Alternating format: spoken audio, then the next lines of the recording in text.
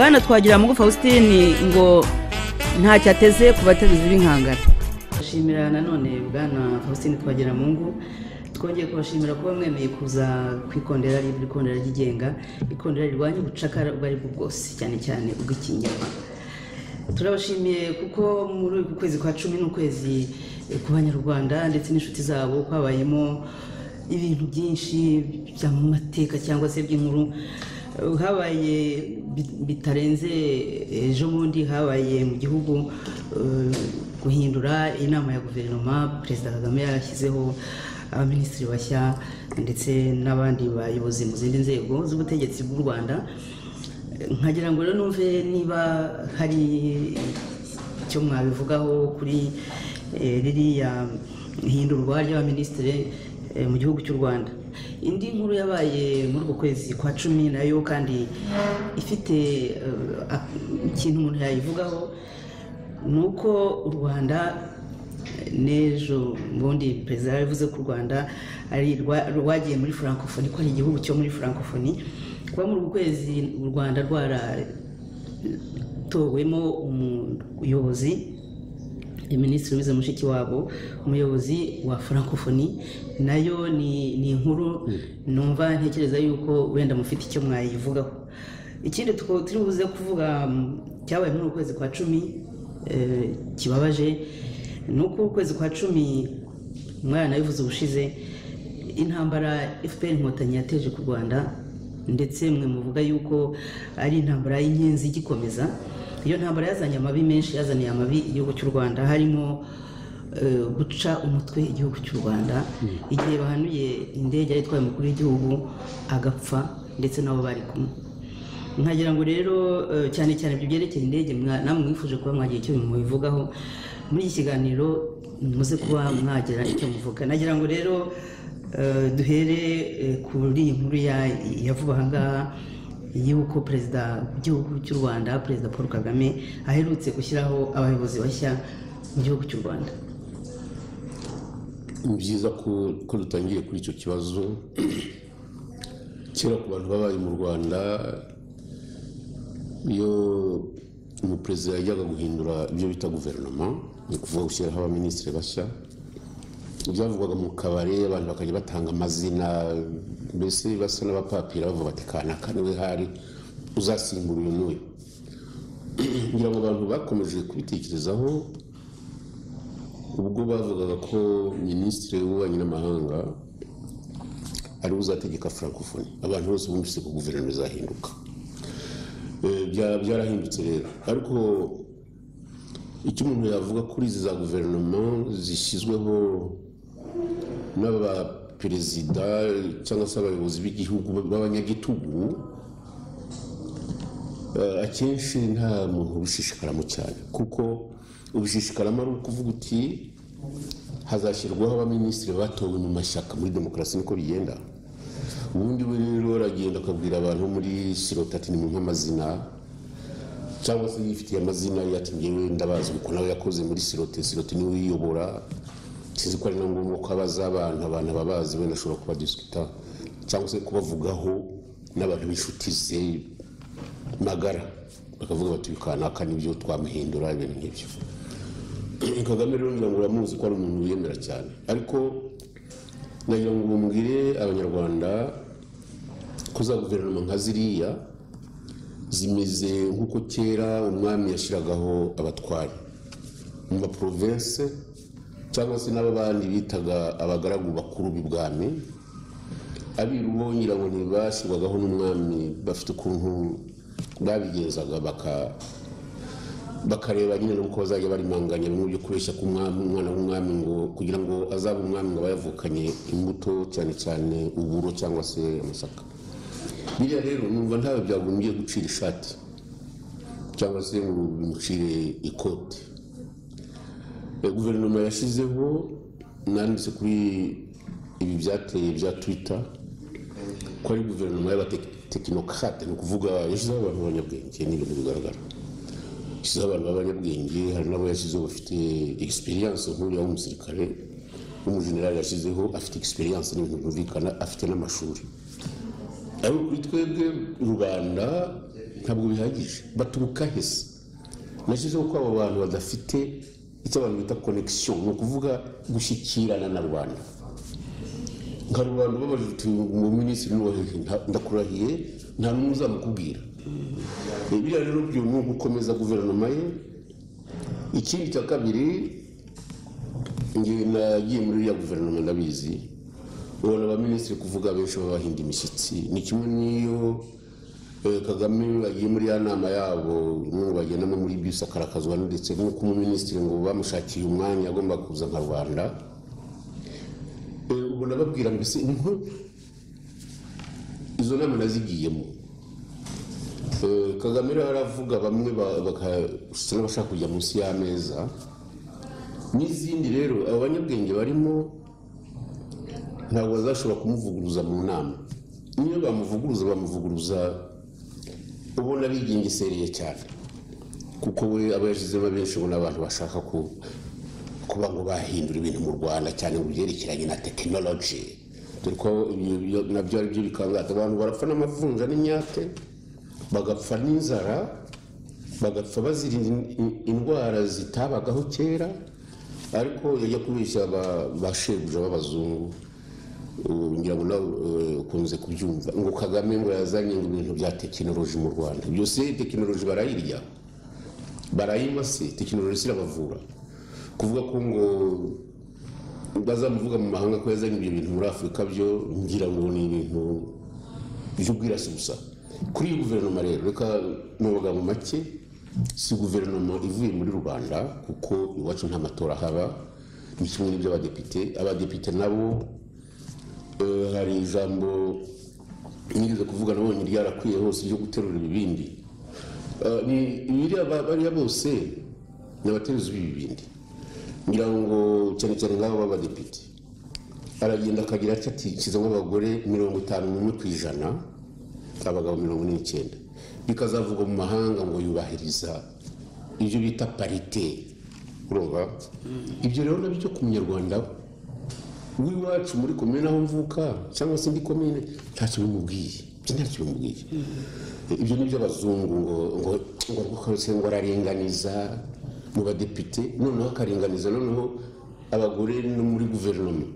Uko ari bibiri ntacyo bivuze. Niba abo ngabo bo muri za paroma batahe babo ngo bagiye kuvugana na rubanda wabita abateruzi b'ibibindi abo muri guverinoma zaba abateruzi b'inkangara. Bazazikorera kugeza igihe bazagira aho bazigeza nkaba rero mubwira ko ibintu kuri jyewe igihe hatarimo demokarasi igihe abo bantu badakomoka muri rubanda igihe abo bantu batazwi na rubanda uko bazashyirwaho kose yewe n'abandi batekereza nkanjye kandi ni benshi ntacyo numva bivuze Eh, kuko bagomba kubwira shebuja uko ibintu bigenda. Kagame ngira ngo uramubona ko avuguruza abantu bose. Yize fizike yize shimi yize politike yize anthropology yize sociology yize business administration ibintu byose arabizi. Aravuga ukagira ngo ni papa uvugira mu kiliziya. Dore ko papa burya ngo ntawumuvuguruza nkaba rero kuri iyo guverinoma ntacyo ngewe na- navuga nyitezeho ku byerekeranye n'imibereho ya rubanda no ku byerekeranye na demokarasi mu gihugu cy'u rwanda. Ibi ni ibintu bya politiki wenda ndashaka gusesengura ariko njye nuko mbibona nyamara hari benshi bagiye bemeza ko eh, perezida kagame ashobora kuba atangiye gufungura urubuga rwa politiki kuko hari n'abemeza ko muri iriya guverinoma nshya ije harimo uretse umubare w'abagore nyine harimo n'abo yashyizemo ngo mu bwoko bw'abahutu batagaragaraga cyane. Eh, abo ni abo yavanye mu miyobo ntitubazi. Niba batagaragara rubanda ngo bamenye uragira ngo batumarire iki? Ikindi ibi ngibyo by'abahutu noneho bazakore n'iyo parite mu bahutu no mu batutsi ibyo byose naringiye kuvuga ngo simbikanga bagira ngo wenda ni izina ry'umuntu byitwa ntabwo numva ibyo bintu benkanze cyane. Nta ekiribure y'abahutu n'abatutsi dushaka muri guverinoma. Ibyo ni ibintu byarangiye byarangiranye n'abamanuye indege ya habyarimana. Icyo dushaka ni umunyarwanda ujijutse ukunda u rwanda wanga amatiku wanga n'ibibazo by'abahutu n'abatutsi. Ubu ngubu nitumubona nitumugeraho tuzamenya ko u rwanda rutengamaye abantu bagiye gushyira hamwe. Ibyo rero byo gukanyisha ngo yashyizeho abahutu n'abatutsi ngo bashyizeho ngo ibyo ngewe nta- ntacyo mbona rwose. Niba nabo nabitekereza nabwire abo yita abahutu n'abatutsi ko hari icyo yabakoreye. Aho kubakanga ngo bazabimenye ibi bintu by'abahutu n'abatutsi abanyarwanda n'abanyarwandakazi mbasabye aho bari hose niba bazabona iki kiganiro ntanga ibyo babyibagirwe umunyarwanda kuri iyi ni uvuga ikinyarwanda akamenya imico ya kinyarwanda akamenya ko na kera twese twararaguzaga. Tukabandwa tukanaterekera. Ibyo kiliziya bitaraza. Ibyerekeranye n'ubutegetsi. Umwami yabaga ariho abitwaga abatutsi bagahabwa imyanya. Urugero ntanga ni urwo muri mirongo itanu n'icyenda abashefu bari mirongo ine na batanu muri abo bashefu bavuga ko nta mututsi wari urimo numvise bavuga umushefu witwa biniga bategekaga ahantu bita mu biruri iwacu ni umuhutu birashoboka ko atari we kubera ko niyo wabaga uri umuhutu utunze wabaga umututsi abo bantu bo kwa rwamfizi bo biyita abatutsi nuko nuko nabibonye ibyo ari byo byose. Mirongo ine na batanu abashefu bari bariho. Mirongo ine na batatu. Mirongo ine na batatu cyangwa mirongo ine na babiri bashobora kuba nibeshye bari abanyiginya. Abandi bari abega. Hagomba kuba harimo nk'umukono umwe wo mu bwoko bw'abakono.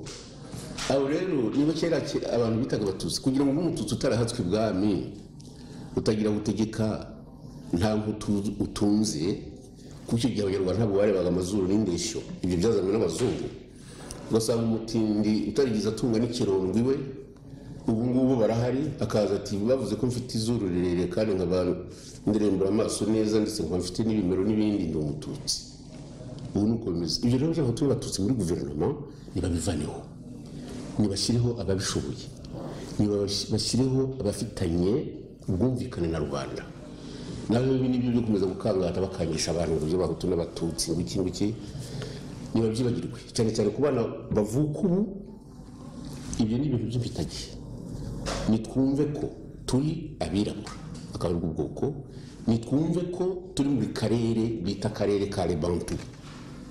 Ibyo birangiriraho na byo byo gukomeza abantu batakamba ngo ba data baragiye ba data baragiye ni byo abandi bati ba data barakubiswe Mm. ariko mujye mwumva ibintu uko bimeze. Ibyo bintu rero tugomba kuzibagirwa. Nitureke abanyarwanda bari hanze batahe. Igihugu cyavuyeho guheka umututsi byavuyeho kumuhingira byavuyeho. Tubane mu gihugu cy'u rwanda tuvuga mu rurimi rumwe. Abashobora kwiga bige abatabishoboye babaha akazi kabagenewe kandi koroheje. Ariko icyo kibazo kivaho aba rero bavuze ngo hagiyemo ngo kiribure ngo yashyizemo abahutu reka mbivuge mu gifaransa m'en fous. Ngira ngo ni ho hari byumvikana ni ukuvuga iki? Simbikangwa simbyitayeho Eh, nyakubahwa bwana faustin namwe wa mugani mwabaye mu- mu nama y'abaminisitiri ku gihe cya perezida kagame ubu se nk'aba ba minisitiri bashya ashyizeho abo nyine uvuga uti na rubanda ntibazi.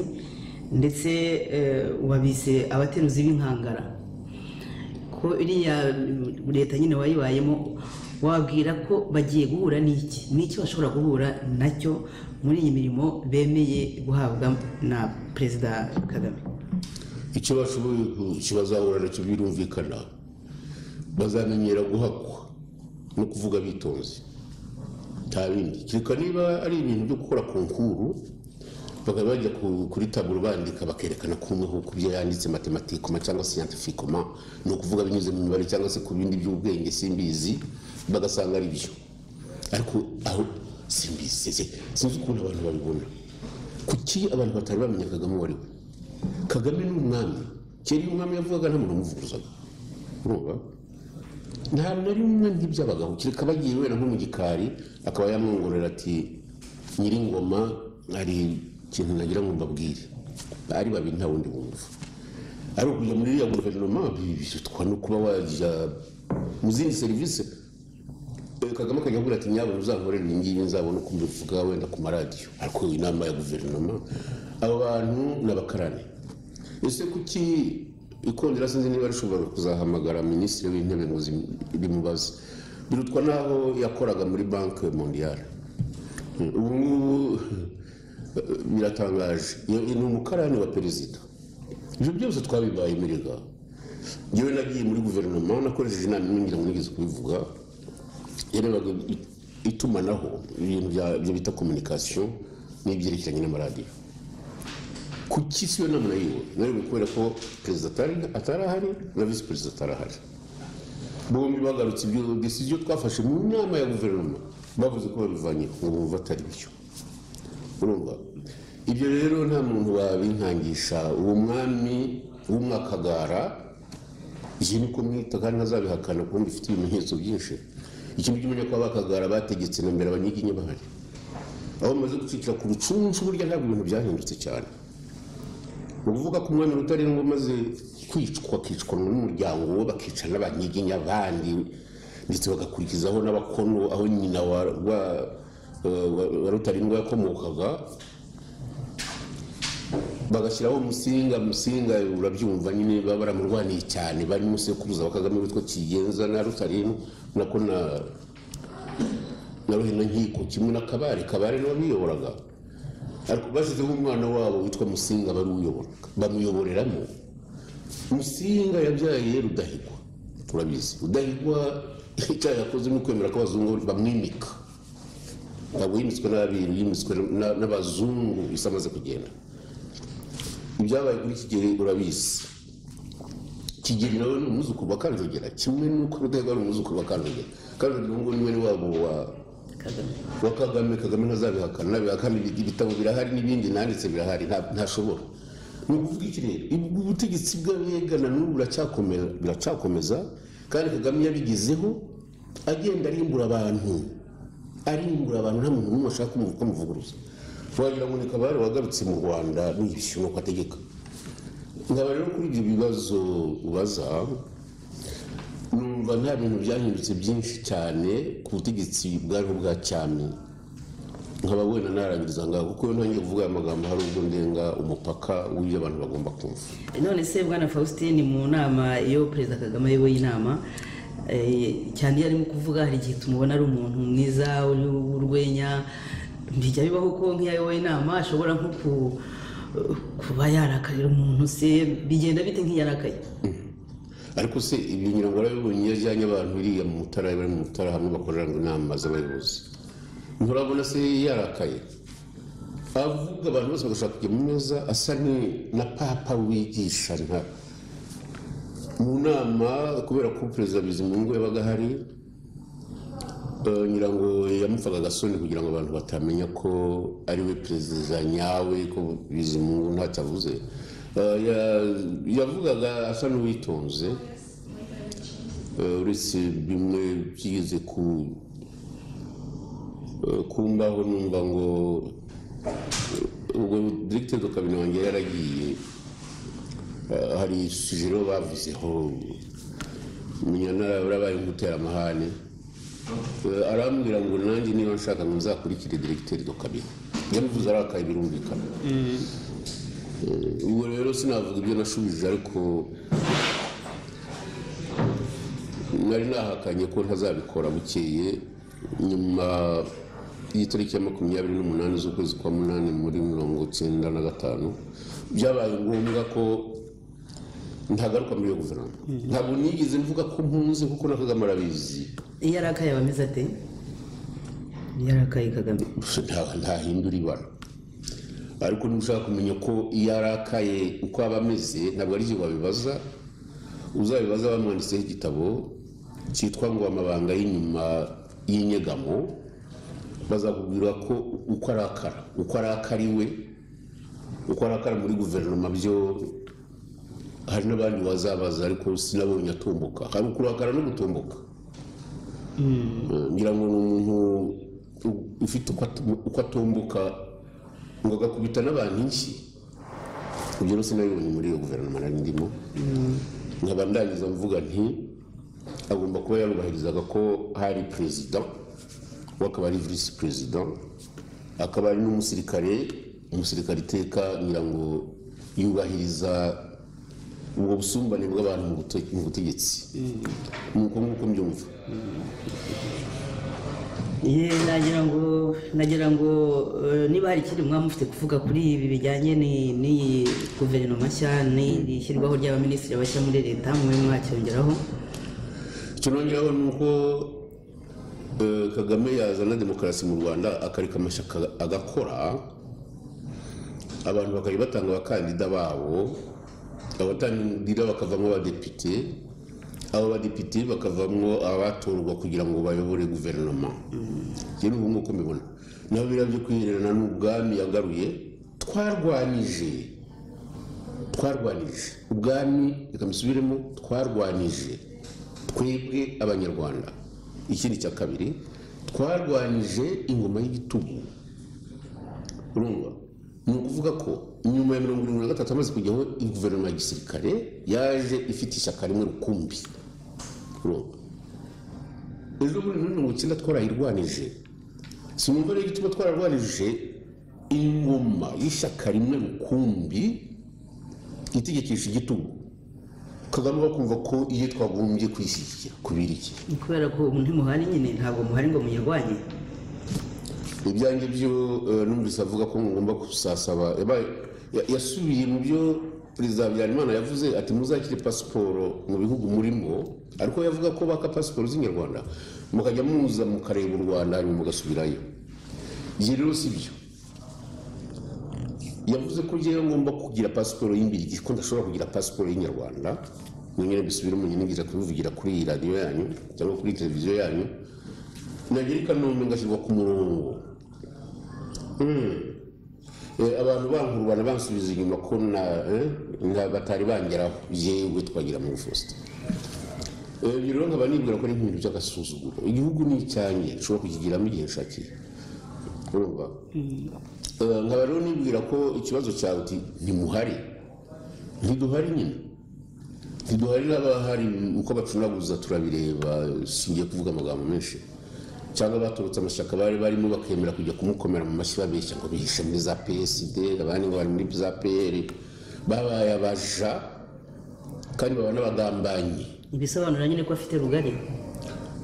Kuvuga rugari ni ukuvuga iki bivuga ko afite ubushobo- ubushobozi bwose niba arabufite bwose amashyaka yo ntayariho urumva?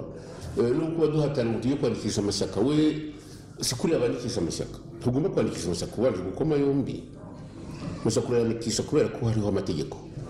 Uriya muntu rero ni umwami ndavuga nti uko ubutegetsi bwa cyami bwavuyeho n'uko twagabanije ingoma y'igitugu yari iriho uko byagenze sinirwa mbisubiramo nawe agomba kumenya ko nta demokarasi afite mu gihugu afite ingoma ya cyami ndetse cyami y'abega ngire ngo mbivugire ndanguruye kandi mureba mu maso. Ibintu rero bimeze nabi. We niba ashaka ko igihugu bakiyobora nako kiyoborwa neza n'abanyarwanda niyemere ibyo twashatse kuva mu myaka ya mirongo itandatu kugeza amagingo aya ngaya turashaka demokarasi turashaka guca ibintu by'amoko abantu bitwaza bashaka kuyobora abandi. Tukitwa abanyarwanda tukumvikana kinyarwanda tukazahamiriza tukazabyina tukazaririmba kinyarwanda tugaterekera tukazabandwa tugasingiza imana kandi tukanywera ku ntango kinyarwanda. Ibyo ni uko byumva. We rero siko abyumva? Ari mu bicu indege reka sinakubeshya amamodoka atagira uko asa. Yarangiza agacyurira n'abantu ngo hari udukote ngo yabaguriye nta muntu wigeze ngurira ikote yewe. Ibyo ni ibintu bivugwa n'abatindi bashaka kubeshya.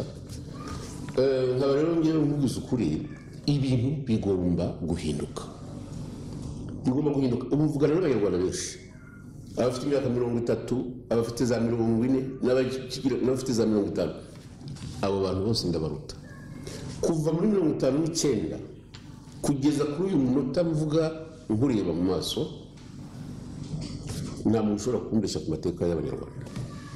Kagame we ntiyagerageza. Igihe yari afite imyaka ine muri mirongo itandatu na rimwe ngira ngo ngewe nari mfite imyaka cumi n'itanu abo rero ntabwo yaza ngo abeshye manganya ngo hari ibyo azi kundusha ari ibya cyami ndabimurusha ari ibya kinyarwanda muri rusange ndabimurusha.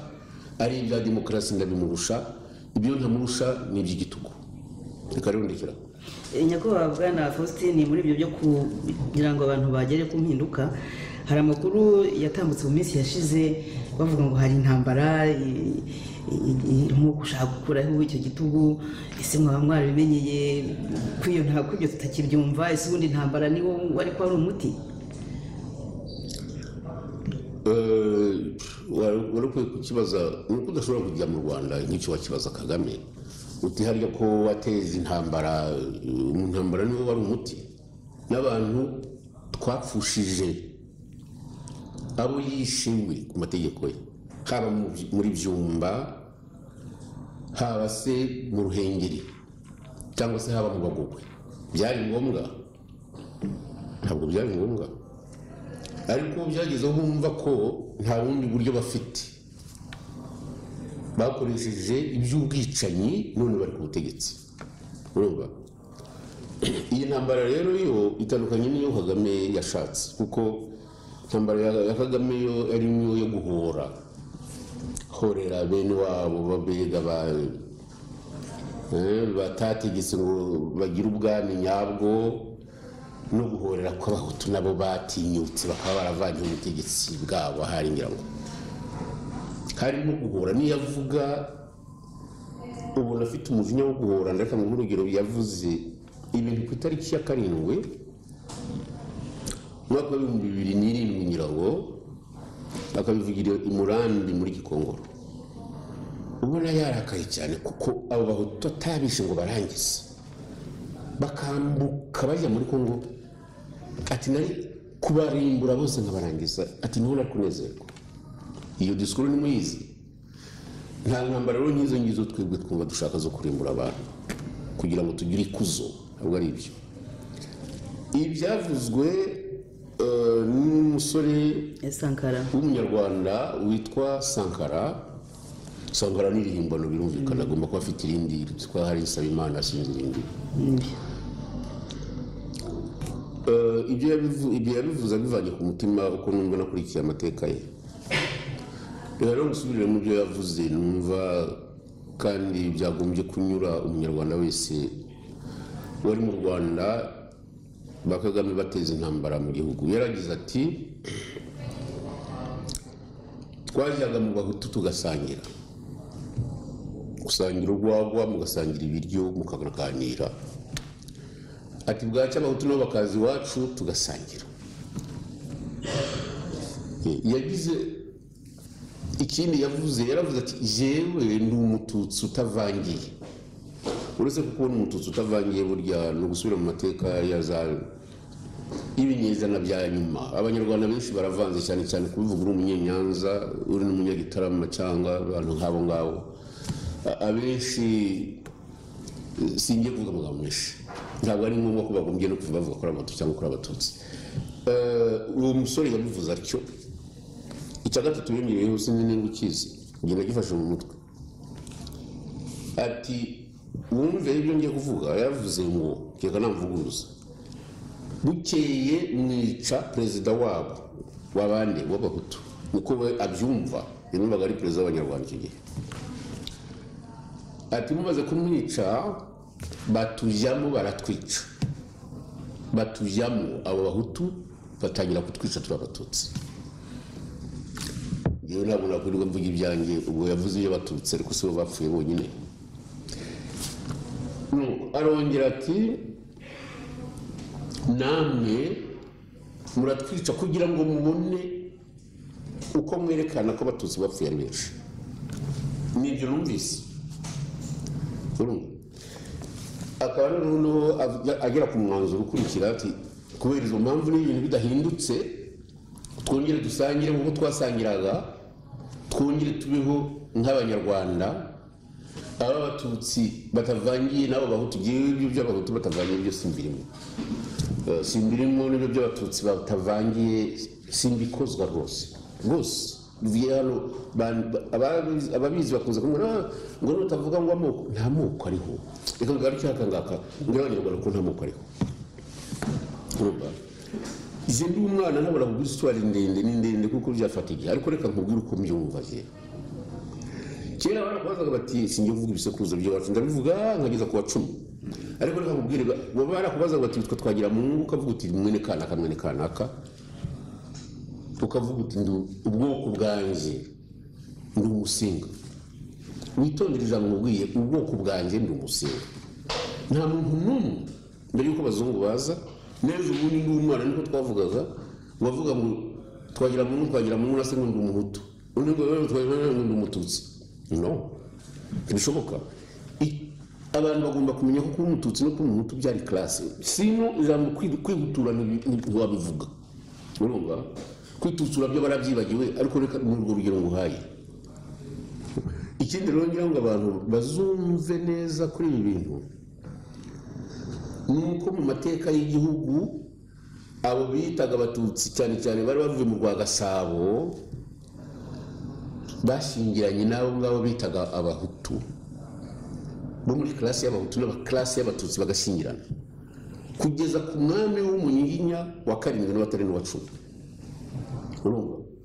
Ukuntu rero abazungu baje kuza bagatangira bagatangira gupima amabinga bapima amazuru bapima iki?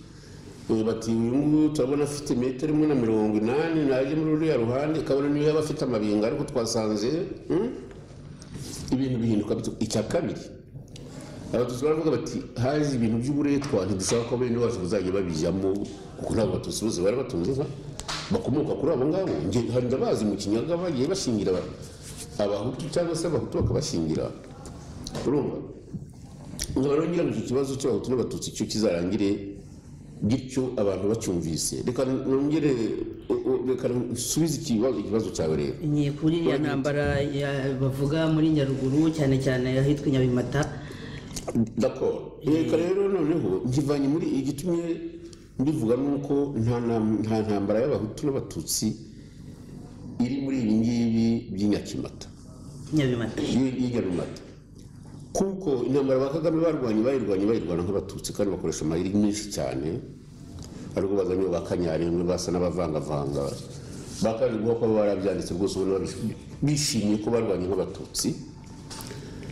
Uyu musore rero sankara yo irasobanutse. Cyane cyane kuko n'ababwira ari urubyiruko rwe. Ni abana bi- ibintu bimwe twanyuzemo ntabwo babizi. Iyi ntambara rero yo irashaka impinduka y'abanyarwanda kuva n'ubutegetsi bw'igitugu buriho. Bwabishye ko rwarwaniye abatutsi. Bamaze kubona ubutegetsi babafashe bamaze no gukira by'ikirenga nta wundi muntu kuva ku ngoma ya cyami kugeza amagingo aya wigeze akira nka kagame. Ntawe mbona. Uretse ko no kugambana na byo birimo? Kagame akorana n'abazungu. Eh, akorana n'abazungu ubu bakorana n'abayisirayeli akorana n'abantu bose mbese bakomeye bashobora kwiba kongo niba akorana nabo. Iyi ntambara rero yewe uko bayitangaje n'ibyo basobanuye ndayemera. Mm, ndayemera rwose. Gusa nawe uvuga uti ba- basaga n'abavuga amagambo ntacyo bakomeje. Kuba intambara y'imbunda itariho si ukuvuga ko intambara y'imitima yarangiye. Intambara y'imitima ni ukuvuga ibyifuzo bya rubanda uko babyumva ko impinduka igomba kuza biracyariho. Mu majoro uko basinziriye baba barwana intambara. Bavuga bati ibi bintu bya kagame bizarangira iki? Iyo ntambara rero eh, ndagira ngo abanyarwanda bazumva ibyo mvuga bazabyumve neza. Kandi n'abo ngabo bari ku butegetsi bazabyumve neza. Ntabwo kuba kagame yarahinduye guverinoma y'ejo bundi cyangwa se ibindi bindi avuga bya tekinoloji bya kirya iby'amagorofa ya- yubatse n'inzu y'amabara eh, nuko biriya byose ntacyo bivuze icyo twe dushaka ni uguhindura imyifatire mu mibanire y'abanyarwanda no kubaha uburenganzira noneho nabo bakaba bitorera abo bumva babumva. Abo bumva babumva kandi bakabavuganira niba bitabaye rero iyo ntambara izarwanwa. Kandi abazayirwana bazatsinda. Rwose.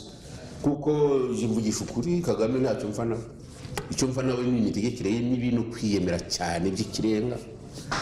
Sinabimushya rero ngo nabikomeze ari mu bushorishori ni amanoti ave mu bushorishori ajye aho igiti gitangirira kumera. Areke no kujya ikuzimu asanga imizi yacyo aguma aho ariko yumva ibya rwanda kuko politiki ni politiki y'ibinyoma reka rero ndanize nti iyo ntambara niba umuti utabonetse izarwanwa. Biriya byo kuzana abana bize bya tekinoloji ntabwo bihagije.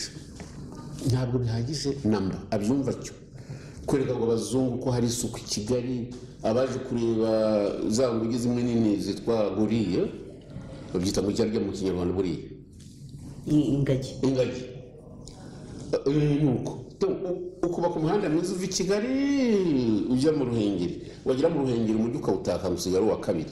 Uko uba uzi ko abo bantu uza ba clinton wenda na ba tony blair eh, na ba bandi bakoze bya computers ba gates bazahanyura bajya kurara mu mahoteli yandi akazi bajya kureba izo nguge zagowe hmm? Nuko ukumva ko ibintu byarangiye uti ba databuja babonye hari isuku hose amatara araka kigali reka sinakubishya imikindo yaraje bimeze eh?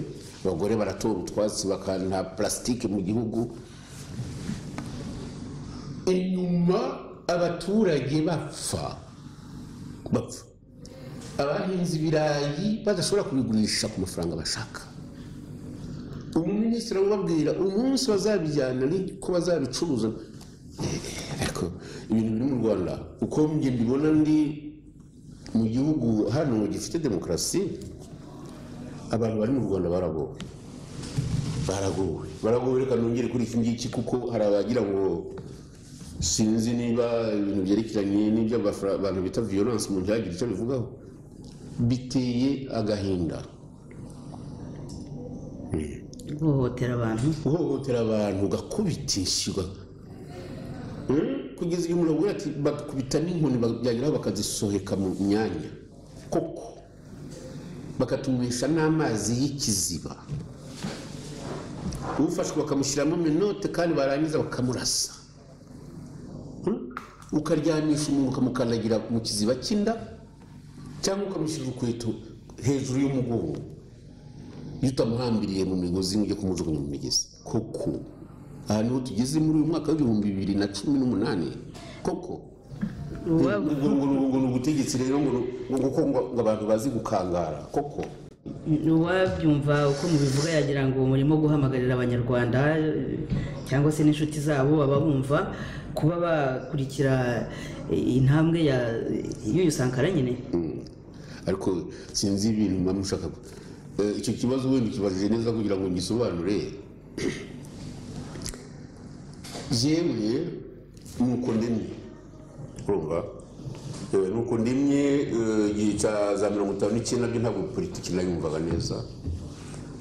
Muri paroma abantu bavuga neza nk'uwitwa makuza na sitazi bavuga n'ibirati rimwe na rimwe ngo bamugize perezida wa paroma ngo ni inter ibyo nabyumviye aho ngaho ntabwo ngewe nari wa mbere wa sogondere ntabwo numvaga ibiratini neza. Uretse ko nanabigiyemo bikindi bivamo njya muri humanite moderne Eh, nkaba rero si ukuvuga ngo ni ukubahamagara genda babwira uko ibintu biteye.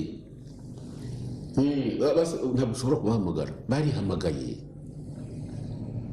Umutimanama ubwawo urabahamagara. Aho uvuga uti ba- babuze uko batangira babura n'umuyobozi ufite imbaraga sankara wenyine ntabwo ahagije nta muntu ukora intambara wenyine ibyo nakubwiye ibitekerezo bye arabifite niba hari umunyarwanda wumva adatekereza nka sankara ko abahutu babanye ko n'abatutsi babanye ko basangiye akaryoshye n'akabishye uricyo abari ibwami n'abari ibwami ubu ngabo bavuga ngo bari barihutuye ariko n'abatwa babaye abatutsi ni abantu bitwa abasikete none se niba bavuga ubwoko ubu ngubu bafata umuzungu ukamusiga irangira ukamubwira ngo ubu bwoko burabuhinduye nkaba rero ngewe nka intambara yo kagame nabyumve intambara ni ngombwa.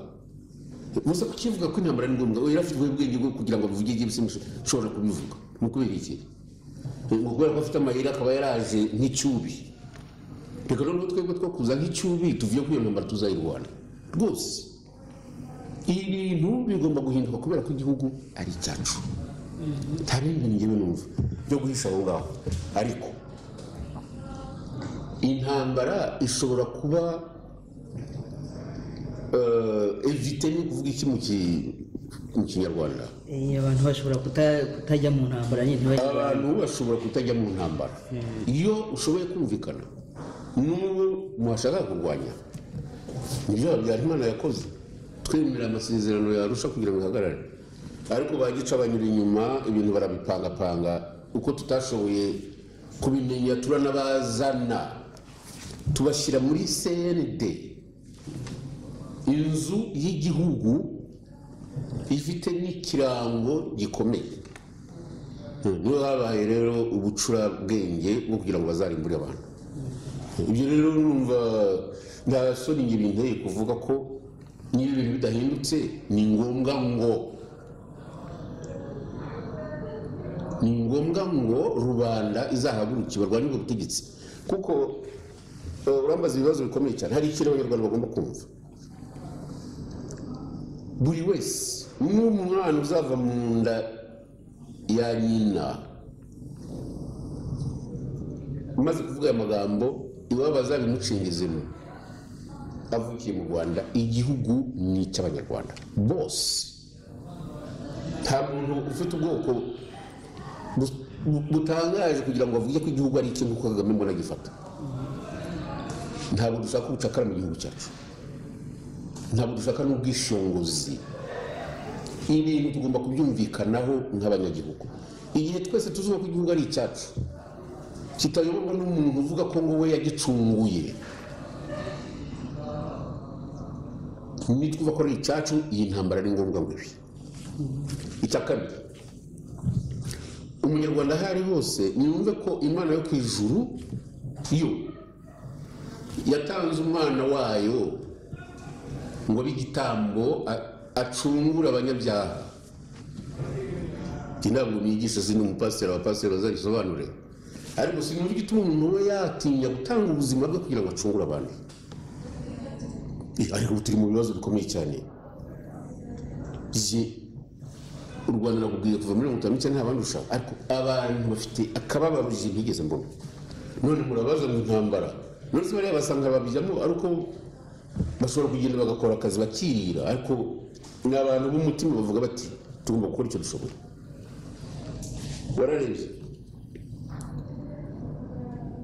rwigara ndamuzi rwigara nakoranye nawe kimwe n'uko nzi bariya bakaje guhakwa bose ndabazi rwigara sinaporo abana be agahinda barakerekanye umwe kugeza igihe ashyiriyeho ishyaka. Uwo bashakanye agahinda yarakerekanye.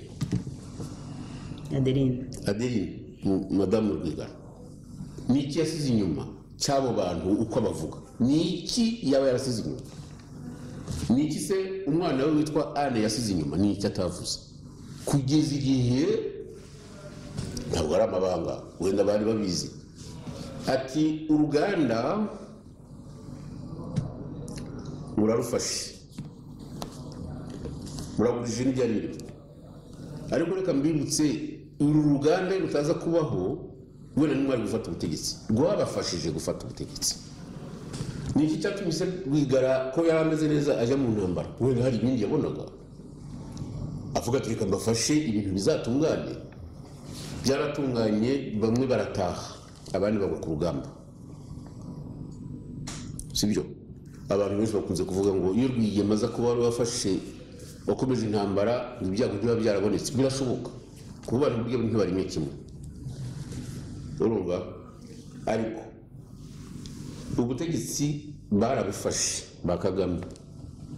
Uzabwira umuntu wafata- wafatanije na kagame urwo rugamba ukiri mu mwuka uzamubwira uwo mugabo muzana uti ni kanakwiye uzamuzana haba muri abo b'abahutu abo batsinze mu makawa muri kenya babanize ntabwo ngiye kubakubwira amazina. Haba abandi bapfuye bataka ngo bapfuye batageze mu bitaro. Haba abandi bafunze ubu ngubu reka mvuge perezida wa repubulika ufungiye mu rwanda si uko adashoboye kugira ino. Pasiteri bizimungu pasiteri bizimungu ba sendashonga bose mvuge ibyabo n'ubusa azavuga ko atabanye na sendashonga urupfu yamwishe rurazwi n'abandi yishe akuriye mu ruhu. Mumushakaho iki? Mumushakaho iki mu by'ukuri? Muzamubwire umuntu abana nawe mu bo batangiranye urugamba uzamubwira uyu patrick ntabwo muzi urupfu yamwicishije se. Kunigira muri hoteli yamutije abo yahaye amafaranga. Mazimpaka jewe ibyawe nabura kwirirwa mbivuga. Jewe bazabibaza babiri icyo nzi ni uko mfite icyuma ngo ngomba kubungana ngenda ncyambaye sincyambara bazarasi zaba nzize n'ukuri kuko zaba nzize ibyo mvugaye abandi se nkaba no no ntabwo nshaka kuvuga amagambo menshi. Abantu uyu muntu niba mumushakamo umutegetsi ntabwo ategeka u rwanda yitwaza u rwanda kugira ngo ategeke kandi agire imitungo ayihe n'abazungu akorana nabo basigaye barakolonije afurika ku bundi buryo. Abo bita ngo militi nasiyonale nibakorana nabo. Agakorana na za asosiyasiyo z'abayahudi na zo ziri muri izo za militi nasiyonale kugira ngo bakomeze bavome kongo ari naho n'iki kibazo cya francophonie gituruka? Eh, abantu benshi ntabwo babibona. Eh, uzumve disikuru ya macron. Ku murongo wa cumi n'umunani sinzi n'ibindi muri disikuru yatanze. Ngo barashaka base ya kongo lo base di kongo undi wabivuze uramuzi mu kinyejana cya cumi n'icyenda mu mwaka w'igihumbi kimwe magana inani na mirongo eh, inani na- inani na- na gatanu byari bitaragera. Kuko biriya bakoze kongo umwami leopold yari yarakoresheje ikarita ya kongo base di kongo hari ubukungu harimo zahabu harimo diyama harimo ibintu byinshi. Uriya makororo nawe yaravuze ngo francophonie ngo igomba gukwira ngo ngo mu bihugu cyane cyane muri baso ya kongo icyo bashaka muri kongo turakizi. Kongo barayizinze bayiha abategetsi barangiye kubatuka. Babahawe na kagame. Kabira urumva yari umuntu yahoze ari umugaragu wa kabarebe. Ari upanga amapantaro y'amakariso y'iki ibintu nk'ibyo nuko. Uravuga Uravuga uyu- kabira muto. Sivuga uyu kabira muto. uyu- uyu uri ku butegetsi. Uri uri ku butegetsi. Ikabira papa yari umugabo. Uriya ntawamenya ibye. Urumva? Ibi rero bumva ngo bya francophonie ngo iki? Uba ugize kubona umuntu uvuga icyongereza eh, mu- muri tv sente bamushyize muri francophonie wowe wigeze umubona? Arimanganya akaba azategekana commonwealth umwaka utaha yarangiza akajya gusobanurira abongereza ngo bamubabarire ngo kuba yaragiye muri francophonie ngo ngo nibo baje kumushaka. Ubwo natandukiriye ubwo se si ubwenge? Ubwenge nyine bwa bitari ubwa bwo kugira ngo abanyarwanda batere imbere bwo kwiteza imbere. Ubu ni ubwenge bw'abantu bacuruje kuva kera. Ntabwo nta bwenge we mbonamo. Bwo gushaka kugurisha rubanda ukoresheje amayeri ufata za koruta zitari izawe ujyana. Mfite za inforomasiyo nyinshi byagiye biva hari i kanombe biguruka umuntu arambwira ati hari ubwo twatwaraga hafi miliyoni esheshatu buri wa gatandatu tujya kumena mu bihugu by'uburayi ibintu bya by'uriya mu perezida ni ibintu ubwo ibyo ni byo wabonye igihe wari ukiri mu minsi mike wabaye muri iriya leta ya kagame? none ibyo nagiye menyera hano.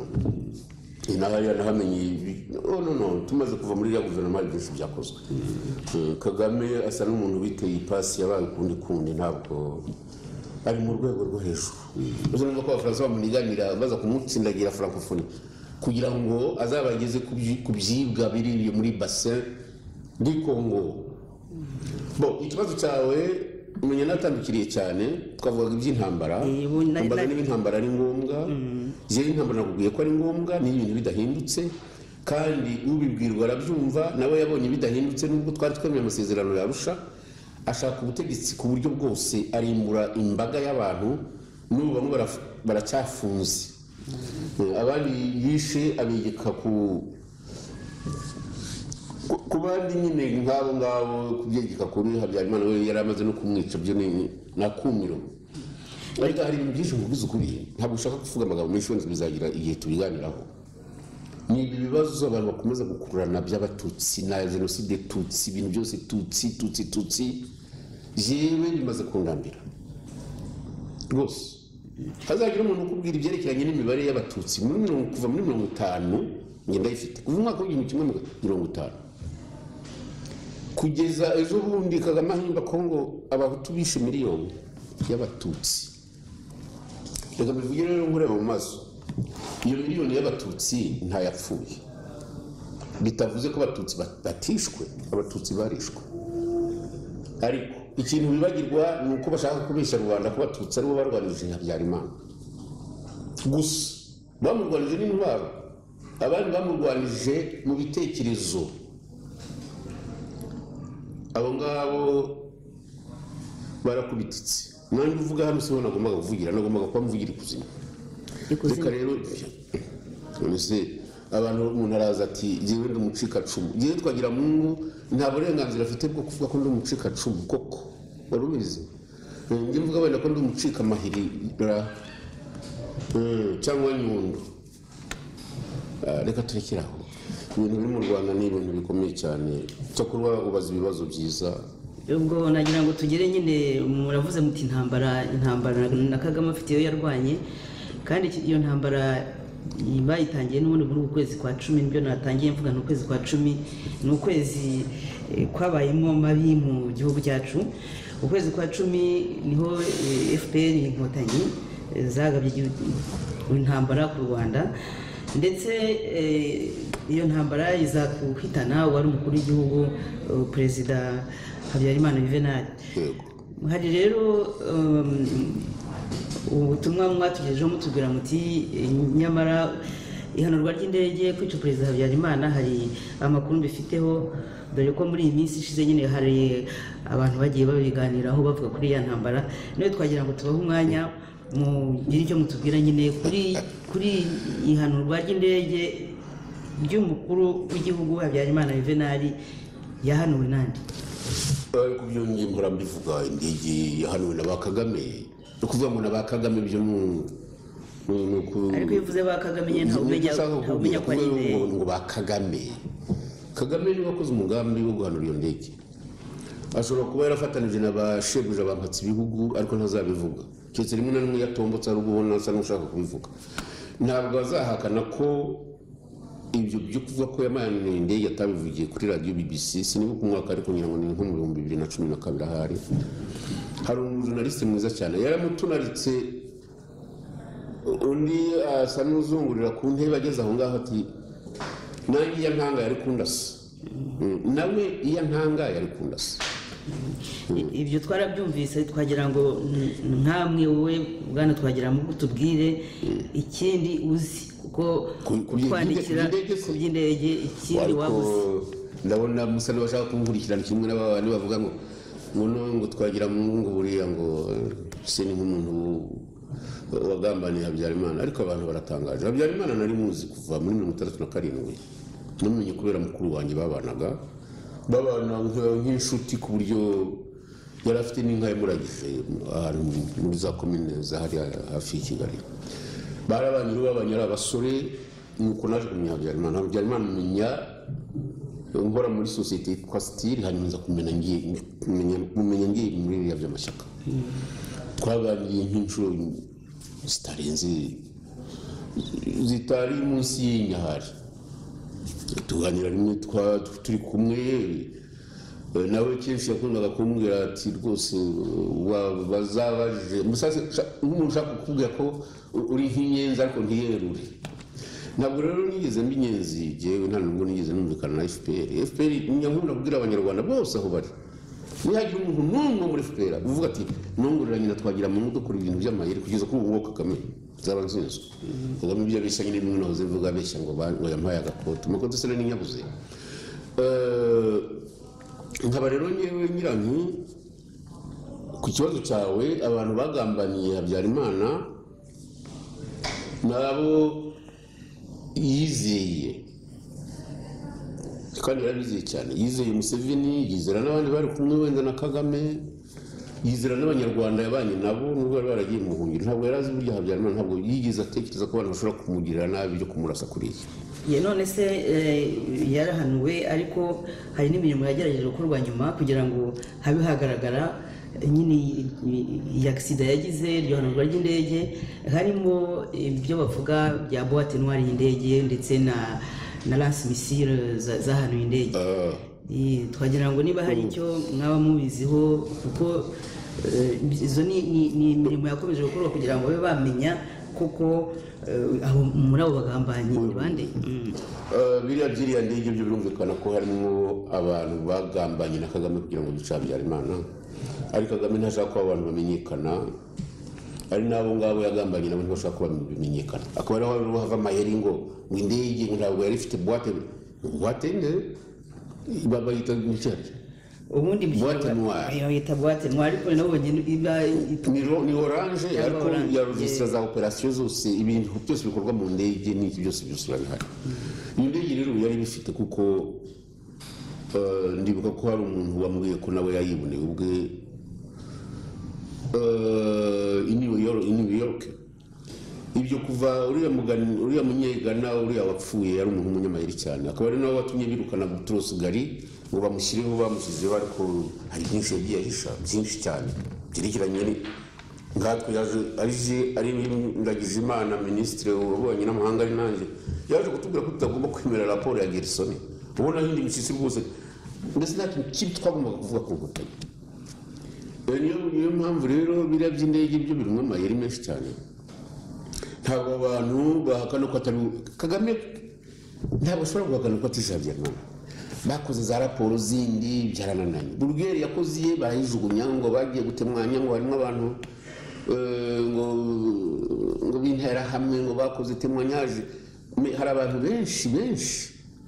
Barimo abasirikare bamwe muzi yemwe barimo na rudasingwa wabaye sekreteri generale umunyamabanga mukuru wa fpr gutemanya iyo ndege yarashwe n'inkotanyi ku mabwiriza ya kagame.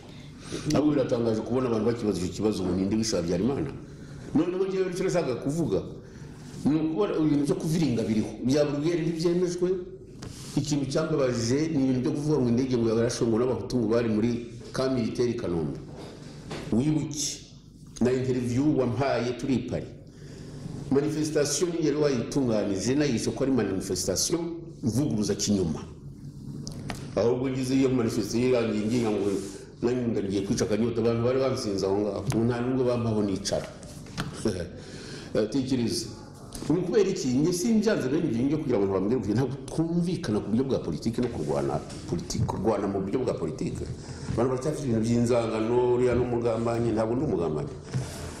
Nkaba rero ngira ngo icyo nashaka kugeraho kuri ibi ngibi byerekeranye n'indege ni ibyo gukomeza gutinza tugiye kurangiza imyaka makumyabiri n'itanu ikibazo cy'indege kitari cyarangira kubera iki rero Yeah.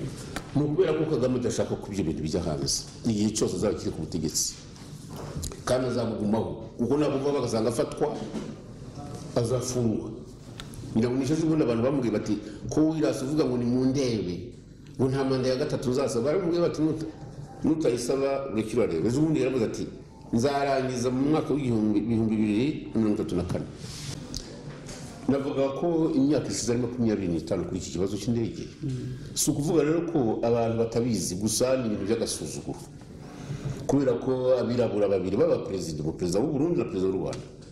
Bararashe nko kurasa inuma iguruka nuko birarangira.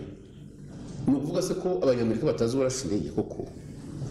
Yaba clinton yaba obama wagiyeho niba amadosiye bayakurikira bazi uwarashe indege kagame we aramuzi peritinama kuko kagame we anashinzwe n'abantu bakoranye nawe. Nyamwasa aramuvuga ko ari kagame ari we yirajije rudasingwa akabivuga. B'abasore bandi barindaga kagame bakabivuga. Uwo muntu mwumva ari iki gituma ibyo bitajya hanze ahubwo agakoresha izindi za raporo z'amayeri ngo za mutsinzi bandi bandi byo kuviringa bimwe byabo babyita ngo ni ugutekinika. Birababaje kubona habyarimana apfa ruriya bupfu. Yarumvikanye n'abantu ko amasezerano ya- yarusha azakurikizwa. Bagafata ingabo zingana n'ingabo zabaga mu gihugu. Hafi mirongo ine n'icyenda mirongo itanu nta- hatandukanizo ryari rihari. Ahubwo inkotanyi menya zaragize ikintu cyo gutekereza kiti mirongo ine n'icyenda tuzabavana he? Ibyiza ni uko twamwica ahari bikarangira tu- tugafata byose.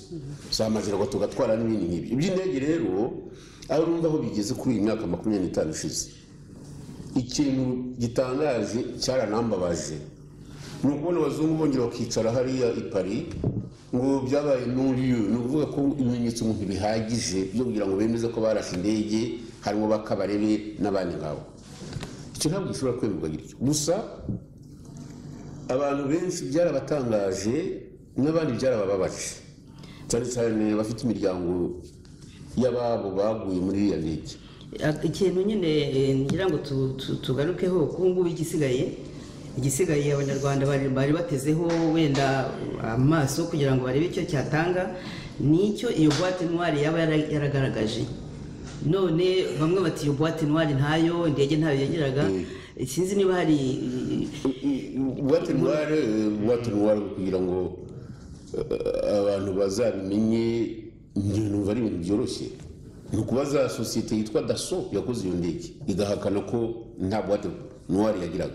Icyo nzi icyo nabwiwe ubwo igihe nikigera nzaguha izina wenda ni uko hari umuntu wabonye buwate noire iri New York. Uyu mugabo wo muri Ghana wapfuye iyo boîte noire azi ko yari iriho. Ariko nawe yari mu babeshyi mu babeshya ko iyo boîte noire ngo itari mu ndege. Yitwa Kofi Annan. Ibi bintu rero by'amayeri na Kagame azi ko iyo boîte noire yari irimo ariko ntashaka ko bijya hanze. Ibyo ni ibintu bijya hanze nk'imyaka ngo mirongo itanu irangiye. Twebwe rero ntabwo tuzategereza abantu bazategereza ko kagame avaho bategereza n'igihe buwate noire izarangirira. Ibyo bintu numva ari ibintu bikomeye cyane. Ku buryo mwebwe mwakwiringira uwo muntu wabwiye ko boîte noire y'indege falcon mirongo itanu ya habyarimana juvenali yaba yaravanywemo iri New York? Iri- niba batarayishandaje ariko icyo yambwiye ni uko yayibonye. Kuko umuntu wakoraga muri loni yarayibonye. Yarayibonye. Ariko bose barabizi. Na ba Butros Ghali kugira ngo babavaneho ni ukubera ibibazo nk'ibi ngibyo. Kuko bari bazi ko Butros Ghali aziranye na Habyarimana igihe yari minisitiri wa affaires étrangères kandi kuko yaraje atanga n'ikintu ngo yiyamamaza kugira ngo azatorwe. Nzi ko hari ikintu yari yarasize kimeze nk'inuma ibumbye. Harya ku kacyiru imbere ya za minisiteri. Ni kado yari yarazanye ubwo ngewe navuganye nawe ni we wabinyibwiriye uwo mugabo Butros Ghali Eh, nkaba rero reka turagirize kuri iki ngiki. Gusa cyo kuvuga ngo aba- aba- aba- abashin- abashinjwa ko bishe habyarimana ngo byabaye ibyo bita ngo nuriyo ngo ntabwo ibimenyetso bihagije. Nagira ngo tugaruke gato kuri boîte noire kuko eh, ukurikije nyine n'iyo nori uvuga niyo barangiza barangiza. Nyine kuri iyo boîte noire bavuga ko kugira ngo umuntu amenye ibyayo bigoye kandi ariyo yagombye kugaragaza. Nibura iminota ya mirongo itatu ya nyuma indege igiye kugwa byabaye. Iyo boîte noire rero uvuga hariho abavuga ko itari iya Falcon mirongo itanu yari iya Concorde y'abafaransa Concorde y'abafaransa yagiye kisi Concorde y'abafaransa yaje kugwa mu Rwanda ni imeze yaho nyine ni ho hari ikibazo nyine iyo icyo yaje kugeza icyo cyo numva ntagisubiza icyo nzi ni uko iyo boîte noire yari iriho. Ikindi ni uko serivisi de renseignement z'aba- z'abafaransa batanze bagomba kubivuga nabo. Niba serivisi ni ukuvuga abashinzwe abanyamabanga b'igihugu cy'ubufaransa bazi ko iyo ndege ari bo bayihaye habyarimana bazacurika icumu bakavuga ko nta boîte noire yari ifite ubwo ni ukuvuga ko bazaba barengeye uwishe habyarimana. Iyo boîte noire iriho cyangwa yari iriho ntibavuge n'icyatumye bayisha. Reka noneho tureke ibya boîte noire ese nimero za misile ko bazizi ku ariko ko byavuye mu burusiya ku izo misile zavuye i kampala kuki ibyo batabyemera? Reka tuvuge ko boîte noire idahari ibimenyetso byose birahari byerekana ko indege yarashwe n'inkotanyi ku itegeko rya kagame na ba shebuja bababwiye ko wenda kugira ngo bazafate kongo ariko habyarimana agomba gupfa. Ariko iriya nori eh, kiriya cyemezo cy'umushinjacyaha w'umufaransa eh, ntabwo ariko bigaragaza. Ntabwo kigaragaza iki? Ntabwo bagaragaza yuko iyo ndege yarashwe n'inkotanyi nyine. Ntabwo. Nuvuga ko nta bimenyetso. Ariko rero ibyo ngibyo ntabonye bihangayikishije abantu benshi. Niyo nabajije eh, abize amategeko uriya muntu wabikoze ni uwo muri parike. Iyo parike ikorana na leta. Agomba kubiha undi bita juge de destruction uwo nguwo ni we wenyine uwo ni we rukatamanena niyemeza ibyo uriya yemeje ubwo ni ukuzareba ahandi abantu bazarega ariko ubundi we yagombye kubi ya- ashingiye ku bya burugera agashingira no ku bagabo ba- eh, abagabo ni ukuvuga letemwa byagombye kurangira kuko biriya ni ibintu bimeze nk'ibyo kuviringa bikurikijwe ibyatanzwe n'abitwa ba menge bari hano bakorana na kagame izi za lobi n'amasosiyete ashaka ibintu bya kongo niyo ituma ibi bintu bitagira aho bijyana bishobora gutera intambwe. Avoka menga nibo bajyanye bariya abantu ngo nibavuge ko abahutu barashe mwene wabo ngo mu ndege ngo bari mu rugo mu kigo cy'abasirikare i kanombe. Kugira ngo byumvikane hari abaturage berekana aho za misile zaguye ko indege yarashiwe hariya hafi y'igishanga cya masaka. Ntabwo rero ngewe numva ko iby'indege byagombye gutera rwaserera cyane. Ibimenyetso birahari ahubwo nibavuge ko badashaka kubyerekana kugira ngo barengere uwo muntu wabaharuriye umuhanda wa boulevard yo kubageza ku mitungo yo muri kasayi na katanga uteretse n'intara za kivu noro na sud. Ngira ngo ni byo ngibyo. Kagame afite abantu benshi bamu- bamuporoteja biriya avuga eh, ubona asa naho yiseguye ibintu bitazwi nta bandi ni izo force zim- zimuri iruhande nta bindi. Ese nyakubahwa bwana faustin mu gihe wari uri muri guverinoma ya kagame ntabwo mwigeze nta na rimwe wigeze akubwira kuri ibyo bijyanye eh, n'iyi ntambara ni- no kuba yarishe abo bantu? Indi kagame? Ariko ura- muratangaje uyu munsi ntawamenya ku cyumba cy'icyo kibazo. Niba ntabwo ari mu mabanga y'inkotanyi. Ahubwo uvuga ko ntabigeze sinigeze nkimubaza wenda niyo nkimubaza yari kukimbwira. Icyo yakoze kisa yakimbwira nakibwira bizimungu muzashake bizimungu mubaze bizimungu yabanye n'abantu bo kwa habyarimana bakomoka muri komini imwe ahari ngira ngo bizimungu amenye na habyarimana bizimungu yaje gukora muri sitiri twarakoranye. Yoherejwe na minisitiri ukora muri perezidansi yandikaho ngo perezida ambwiye ko uwo muntu mumuha akazi twahereye ko tukamuha ntabwo rero numva njyewe icyo kibazo ntibakimbaza niba kagame yumva ko yari aziranye na bizimungu ku mabanga ya fpr agomba kuba yaramubwiye n'ayo mabanga. Ariko reka nguhe ikindi. Rizinde ko yishwe bikaba bi- bi- byanditse ko ari we watanze aho iyo ndege igomba kuzarasirwa. Ntabwo mubizi byose? Murabihakana. Iyi ntambara yabayemo ibintu byinshi cyane. Uwari kanyarengwe uwari bizimuza rizinde n'abari ntazi wenda bizimungu bashobora kuba ataramubwiye ariko abo bantu barabizi bazi ko indege yarashwe na kanyarengwe ntabwo yavuga ko ya- yapfuye azi neza ko iyo ndege yarashwe na fpr ku mategeko ya kagame. Ese kuki nyamaza abyemeze ese kuki rudasingwa abyemeze. Mwumva ari icyo bashaka bariya bantu niyo bwate ntwari ko utagombye kuba ngombwa ko bagombye kumva amagambo abo bantu bavuga. Ukuntu ujya guhinyuza sekreteri generale wa fpr ugahinyuza umuntu wari ushinzwe dmi muri fpr biratangaje kubona abantu bakiri muri ibyo byo. Ngo bya bwate ntwari bwate ntwari reka tuvuge ko itanariho ariko hari abantu bazi ko uwo mugambi wari uriho. None icyo kibazo kizarangizwa nande se ni wowe ni jyewe ni bande ngewe nafa wenda wowe sinamenye ibyo utegereje. Ngewe ntabwo numva abanyarwanda badakora ku buryo buhagije. Baracyari muri bimwe byabo nyine. Ubundi dufatanije twese ibi bintu byarangira. Rwose. Kuko reka nkubwire.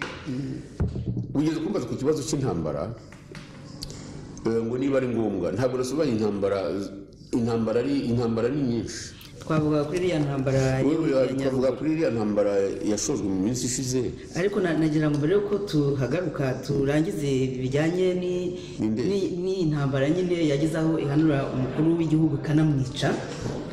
Eh, umumaze kugera mu mu- mu- mu butegetsi hamwe eh, na perezida kagame na perezida kagame ari visi perezida pasiteri bizimungu ari perezida. Yego.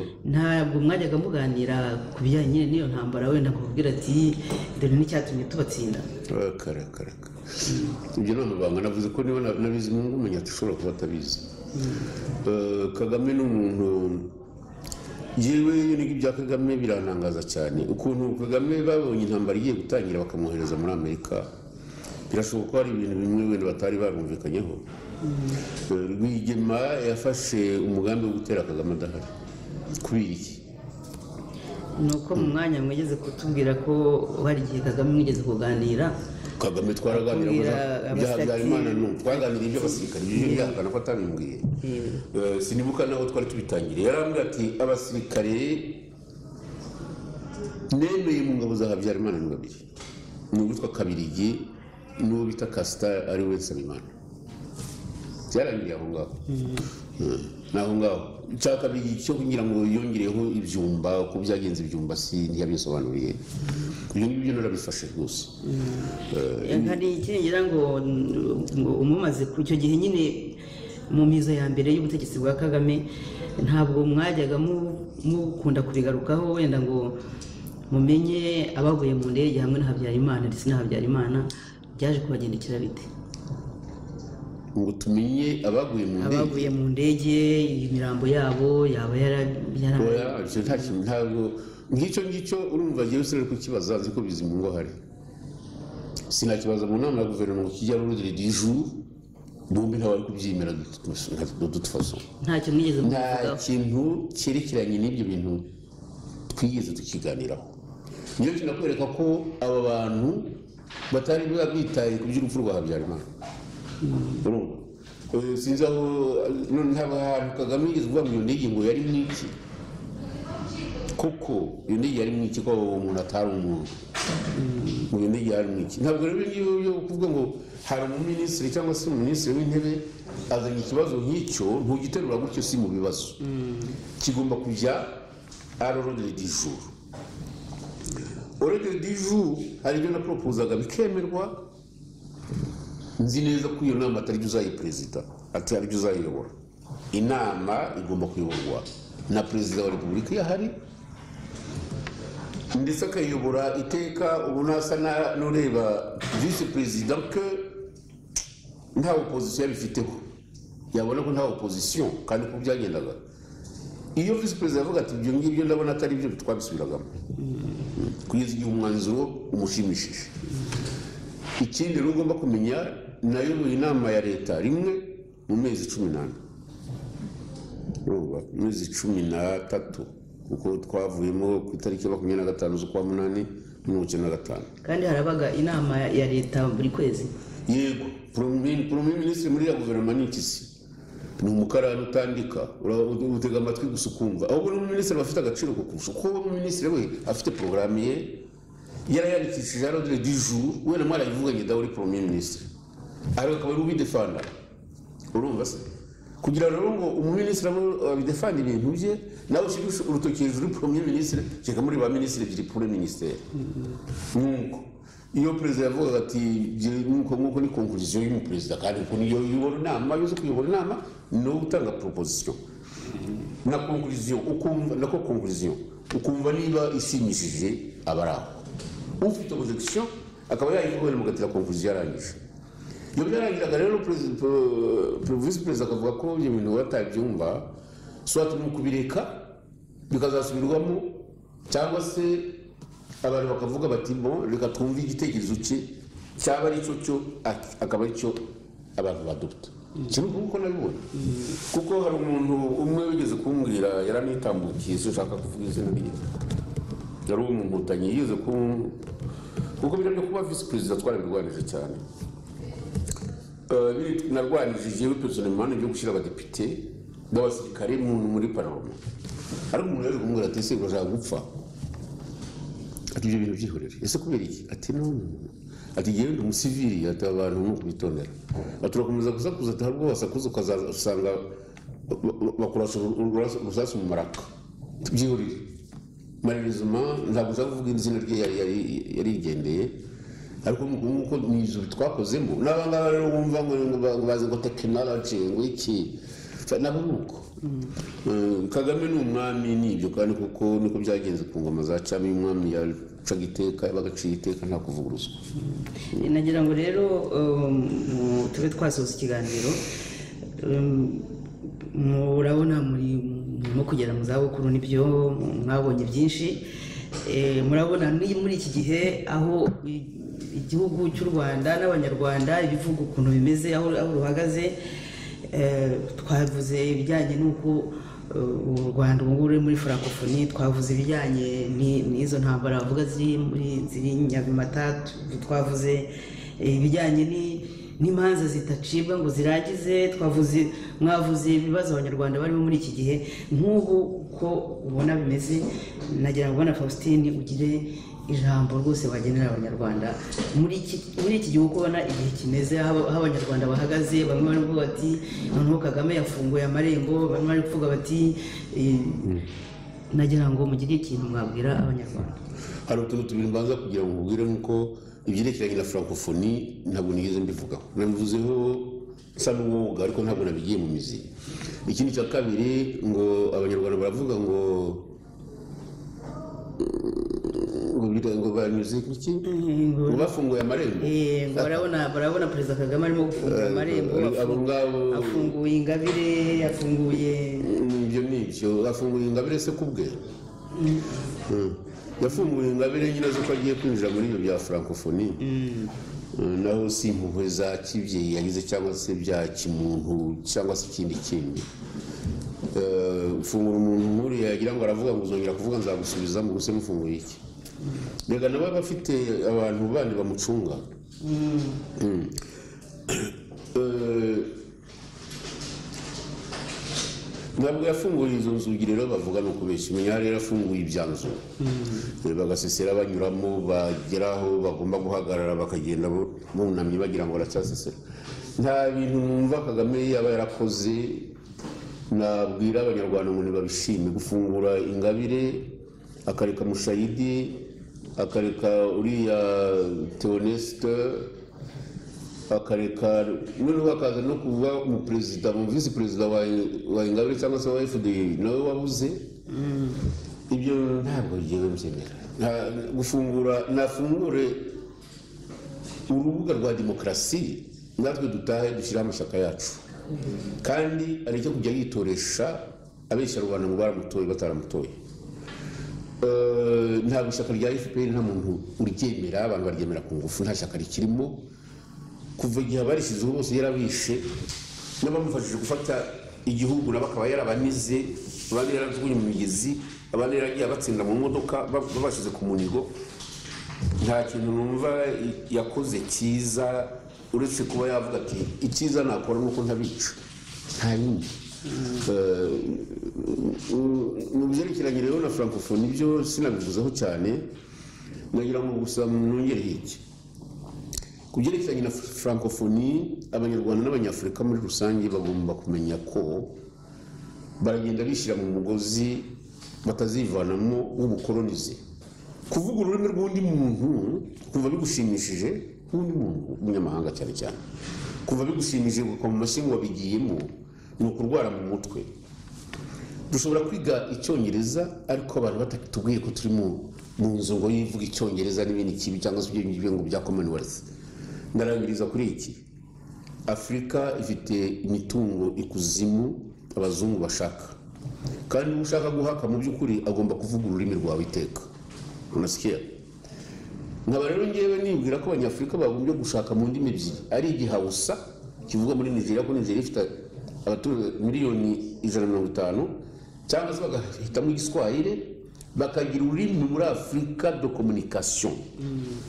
Afurika centrale ni ukuvuga yo hagati n'iriya y'uburengerazuba bakaba bavuga bati twemeye igiswahili abiriya burengerazuba bakavuga bati twemeye igihawusa aba ari cyo tuzajya tuvuga natwe muri afurika n'abazungu bakiga igiswahili igihe baje guhaha iwacu. Cyangwa se bakiga icyo gihawusa nyine uko ubibona ibya francophonie rero ni- ibintu byo kwigarurira abanyafurika ku bundi buryo bwihishe kandi bababeshya ngo ni ukubabira kugeza ngewe ngomba kuvuga ikirimi cyabo batavuga icyacu amagambo yanjye ni ayo ngayo. Sinzi niba ibibazo byawe nabisubije n'ibyo biro waruzanye ndagira gusa ngo nongere mbwire abanyarwanda ko bagomba kumenya ko igihugu ari icyabo batagomba kugira inzangano ngo umuntu ashimishwe n'uko indege ya habyarimana ngo bayihanuye ngo avuge ko nta cyari kirimo cyangwa se ko ari we yabana perezida w'u Burundi ko abo bantu ari abahutu ntacyo bibabwiye bifite icyo bivuze ku banyarwanda bose n'abatuye kariya karere. Ikindi ni ugukomeza kwanga cyane cyane ko abantu baba barwanira guhakwa n'abazungu.